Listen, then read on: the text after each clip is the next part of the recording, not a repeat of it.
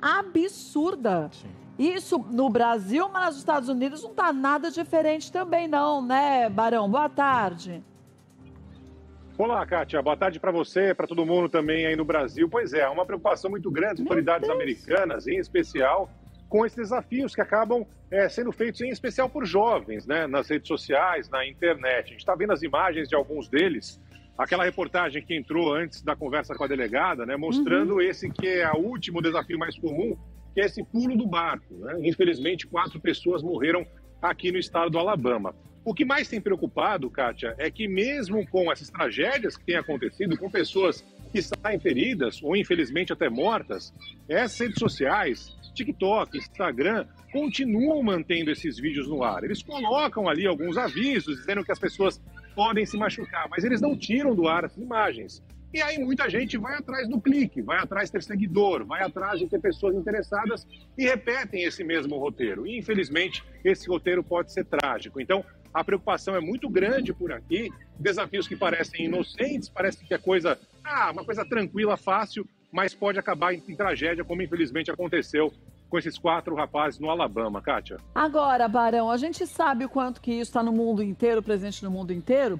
Como que a polícia americana está agindo, está trabalhando para chegar até essas pessoas que dão esse start nesses desafios da internet, um mais macabro que o outro? A preocupação maior, Kátia, é tentar tirar do ar isso, né? Porque Sim. continua no ar. Então, a questão a maior é essa.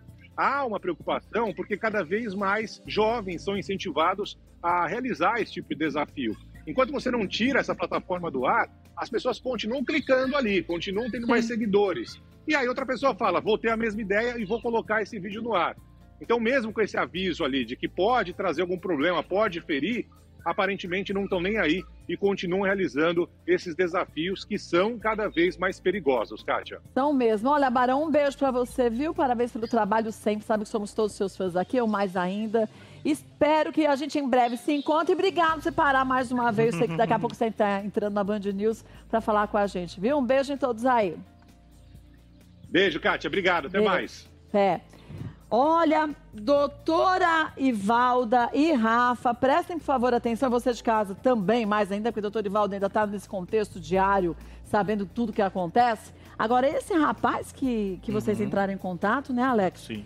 A gente até comentou a semana passada de um tal de um desafio que era fum, fum, é, fumar. fumar Aquelas haste flexível. Aquela que a gente compra, às vezes nem deve, passa no, no coisa.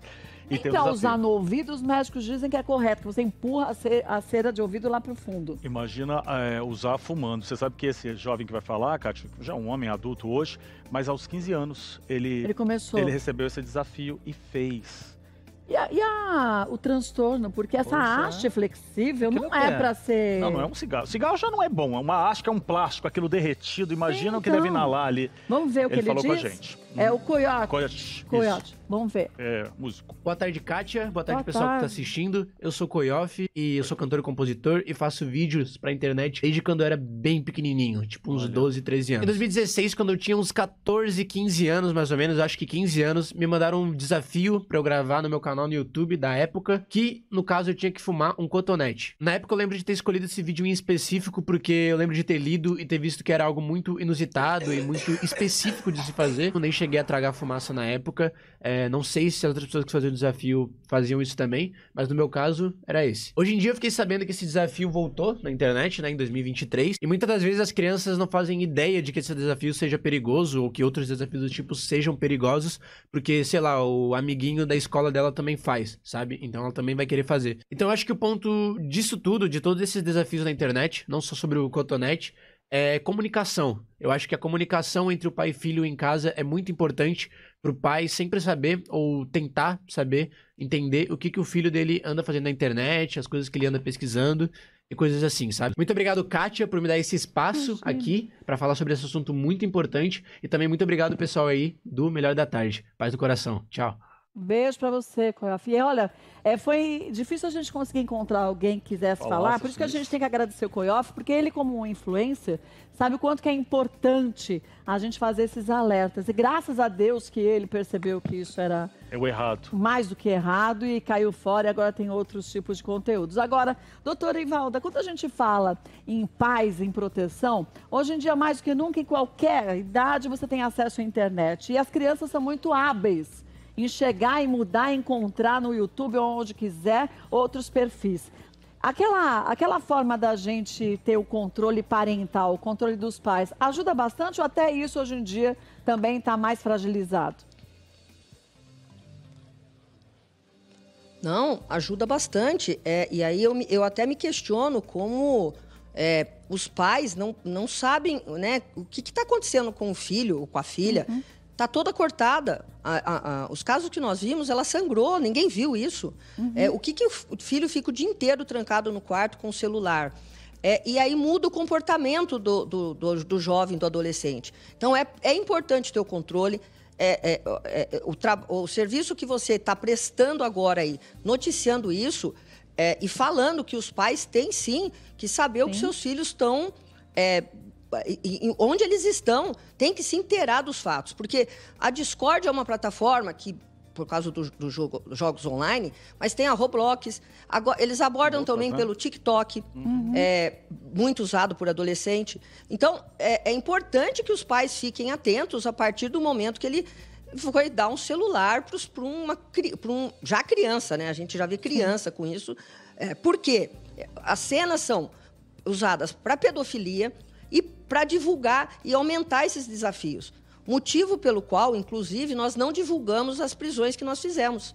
Para não dar, é, fazer nenhum virar herói aqui e o outro ir atrás. Virar apologia, é, né? É. Posso fazer uma, doutora, então, posso fazer uma pergunta os pais rapidinho? Tem sim, é, Des... Lógico. Desculpe, é o Alex que está falando aqui. É importante que a senhora fala essa coisa da gente não fazer apologia e tal, que tem as prisões. Sim. Mas agora, para a gente falar diretamente com o cara, com a pessoa, com o irresponsável, o adolescente que também faz isso, e ele é o mandante, ele que é o incentivador, que ele põe o avatar lá, Vamos explicar para ele que a polícia chega nele, porque a máquina dele tem uma identificação, ele vai ser punido e possivelmente os pais dele também. Não é assim, doutora, que funciona? Ele tem que saber disso. Menor de idade, né? É.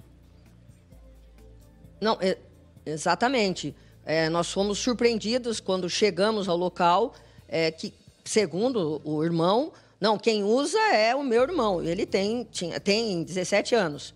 É, aquilo que eu esperei que ia ser a prisão acabou é, virando aqui uma apreensão de adolescente, apreensão dos equipamentos, mas foi, foi por causa dessa prisão que nós chegamos no Dexter, que era um dos líderes, que era o pior, ah, foi a federal que, que o prendeu em outro estado. E também nós passamos algumas informações para o DEIC, e por isso foi possível, não só em São Paulo, como em outros estados, é, é, efetuar prisões dos chamados é, líderes naquela comunidade. Todos com, com avatar e com, com, esse, com esse sadismo mesmo. Maldade, de, de, né? de, E de até misoginia, né? É. Sim. É, a, e, tanto que é, é, um, é, o, o, Ministério Público já está com uma força-tarefa, nós vamos participar, porque para enquadrar não só na pedofilia, é, como na, nessa mutilação que, que eles é, desafiam, que obrigam mesmo. É, a, a, pessoa se mutila mediante uma ameaça.